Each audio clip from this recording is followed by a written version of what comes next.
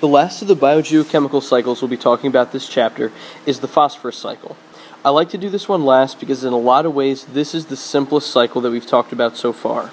The reason this one's easy is if you look up here at the atmosphere part of the cycle, there are no arrows coming towards or leaving from the atmosphere, which means there is no atmospheric stage to the phosphorus cycle. Everything is taking place either in the soil or in the water, you know, somewhere on the ground that keeps it out of the atmosphere. And I think the complicated parts of the nitrogen cycle and the carbon cycle are what moves those two uh, particular elements to or from the atmosphere.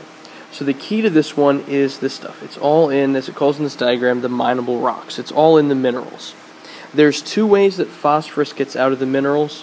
One of the ways is weathering, the other one is mining. Uh, the weathering idea could be erosion, you know, anything that's breaking down those rocks and making the phosphorus available.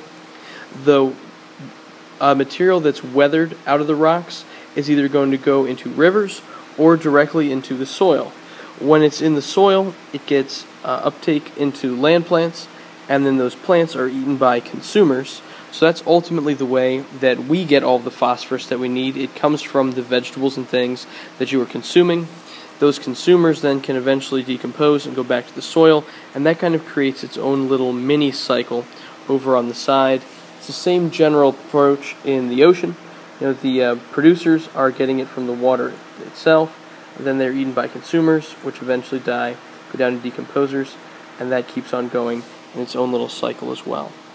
So the phosphorus cycle is ultimately pretty simple compared to the other two. Uh, just like in the previous cycles, we always have to talk about human impact as the last stage. You can see here fertilizers and detergents is the main way that people impact this cycle.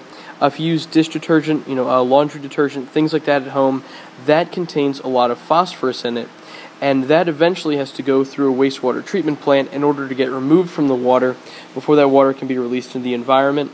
Uh, like anything else, too much of a good thing becomes a bad thing. You know, phosphorus is required for plants to be healthy, but a lot of it really allows algae to take off and do very, very, very well. Uh, so well, actually, that it can deplete a lot of the oxygen from an environment because it's thriving so much.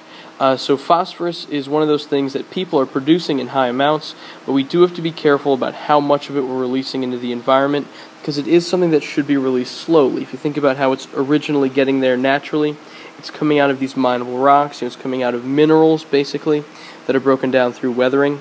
So as people go through and release things faster, we kind of unbalance this cycle a little bit. Um, overall, I think this is probably the simplest one just because, again, there is none of that atmospheric stage in the phosphorus cycle. So this concludes our study of the biogeochemical cycles. Remember, we have water, carbon, nitrogen, and phosphorus. As always, thank you for watching.